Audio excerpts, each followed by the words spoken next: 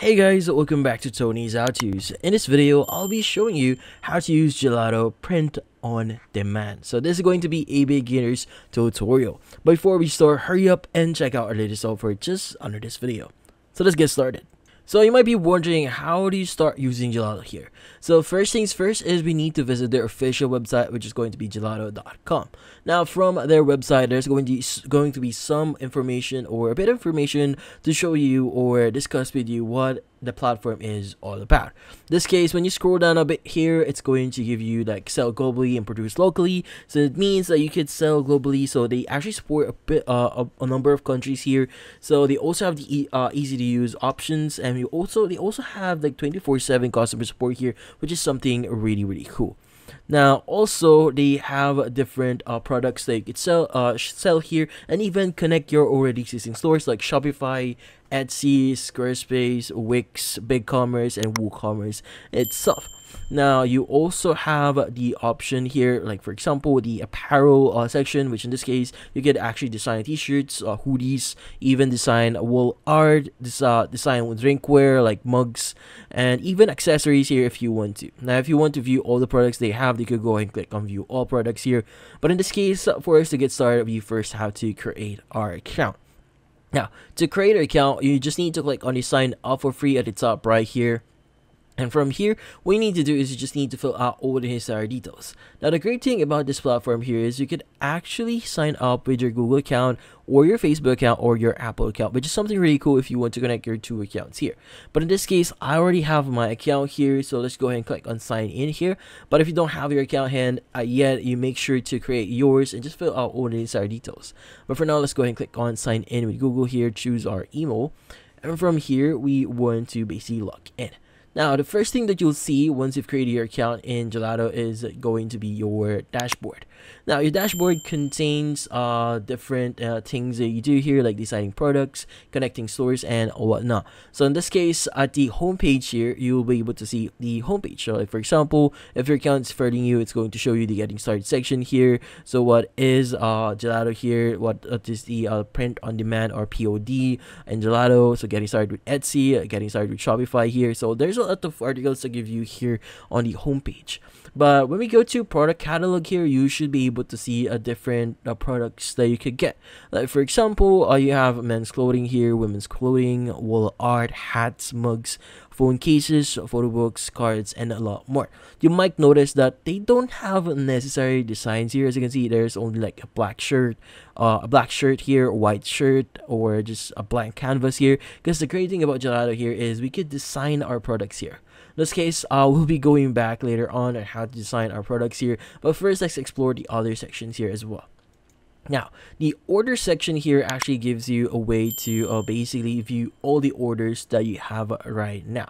So the orders that you have on your account may be uh, categorized into different parts. Like we have pending approval, not connected, on hold, failed, draft, pass, in production, and whatnot. So if you want to view a specific product, like for example, a list of products in drafts, you should be able to see it in the draft section here.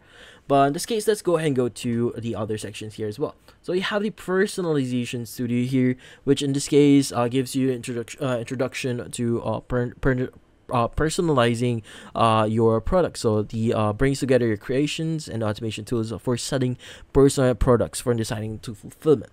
But in this case, uh, we'll want to discuss other sections here as well. So let's go to templates. Now templates is a great way for you to uh, basically add templates to your account. So for example, you don't want to uh, design a product uh, every time that you want to uh, sell something. So creating a template here can be a uh, really huge help for you. Now, you also have the branded package uh, packaging here. Uh, for example, if you go to configure here, you should be able to add branded labels or packaging inserts if you want to. But again, uh, these uh, add-ons is typically costs a specific amount. So depending on where you're currently located, the amount itself might change. So in my case, uh, it's going to be 43.31 PHP. Now, in this case, you have packaging inserts. So if you want to activate those specific uh, configurations, you just click on activate label or activate inserts here, and you should be able to activate them and design them for you. But in this case, of uh, this feature is not actually for free, so you need to have a premium, uh, premium or upgrade plan in Gelato for you to start using it. Now we also have analytics here, which uh, gives you, uh, from the name itself, analytics. So if you want to learn more about your store, how it's actually doing, so like for example, number of orders, production to country, sold products, total costs, and orders by country here. You should be able to see different data here once you start selling products. Now we also have the price navigator here. So in this case, you should be able to see the prices for your products, but again, it doesn't show anything yet because I haven't added any products yet. Now, in this case, we also have the Mockup Studio here, but Mockup Studio is part of the Gelato Plus or premium plan that you have, so you need to have a plan for that. But they also have they also have a free uh, trial here if you want to try using it as well. Now, they also have developer here if you want to view the API documentations, API keys, and webhooks, and a lot more. But the section here is quite advanced, so if you're not a developer, I suggest not uh, uh, uh, actually going to the section here just to uh, uh, ring things here. Now in this case, what we need to do is we want to start connecting our stores because again, we could actually connect our stores into uh, Gelato. Now in this case, maybe I want to uh, direct uh, connect my Shopify account. So let's go and click on Shopify here. But you could choose either Etsy, WooCommerce, Wix, or Squarespace or BigCommerce if you want to. So in this case, let's go and click on install to confirm the installation here and from here it should redirect us to another page here which in this case we should be able to click on install. To install the app itself for Gelato and once it's actually installed we should be able to uh, integrate our store into uh, Gelato. It might take a while so let's just wait for it to load up and as you can see, once it's actually collect uh, uh, connected, as you can see, it's going to say, how would you like to import the process, uh, import and process orders? So in this case, you could choose automatically or manually. So I would suggest you to use the automatically here so, because it, actually imports all future orders, future orders into Gelato automatically and send orders to production automatically as well. So in this case, let's go ahead and click on uh, the option here that says create new products since we want to start creating our products. So in this case, it's going to redirect us to product catalog. So maybe I want to design a, a men's uh, clothing uh, shirt here. So let's go choose men's clothing. And we want to choose, maybe we want to design hoodies. Now from here, let's go and choose the type of hoodie that we want to design. So maybe I want to use this hoodie here. Let's go and choose this one.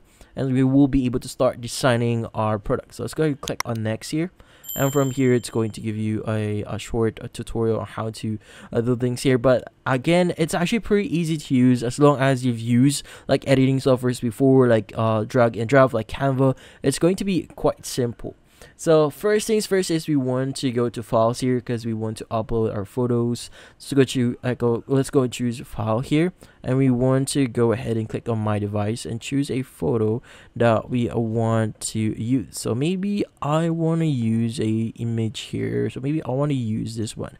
Click on open from here let's go ahead and press and hold on it and drag it into our canva or our shirt here so in this case, make sure that your picture actually fits uh, this area score small square area here because that's the printing area. So that's where your photo would actually appear. So anything excess to that, it's not going to appear on your hoodie or in your design. So make sure it's within that square. Now, in this case, if you also want to add text, like for example, uh, let's go ahead and click on text here.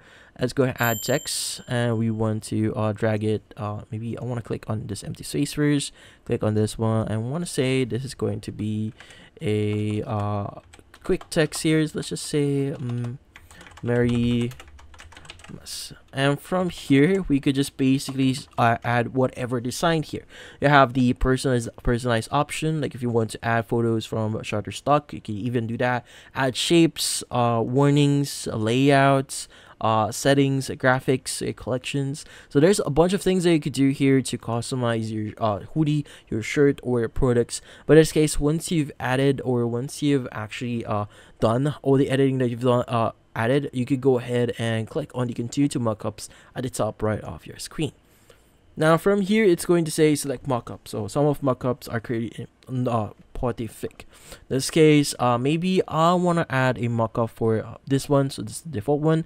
So maybe we want to add a mockup for this one as well. But you need to have, as you can see, uh, it has that uh, crown uh, icon and it means it's not for free so you need to have the uh, the plus for you to use that. But for now we're just going to use this one.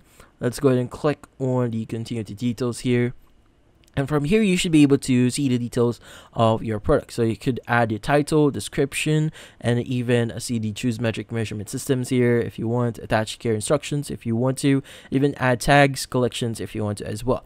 So in this case let's go ahead and proceed with the prices and in the prices you should be able to determine what is the prices of your product. So it depends on your size here. Like for example for 5 uh, 5xl you can change the price for that. So for example if you want to make this a flat 20 you could do that as well. And in this case maybe i want to make this as 90 itself. So in this case let's go and click on update here. And once you've done that you could either publish this already or just click on the save as template option now in this case, um, what we need to do is let's go ahead and click on publish here. And from here, as you can see, it's going to redirect you to my store. So in this case, it's going to actually start adding that product. So let's just wait for it.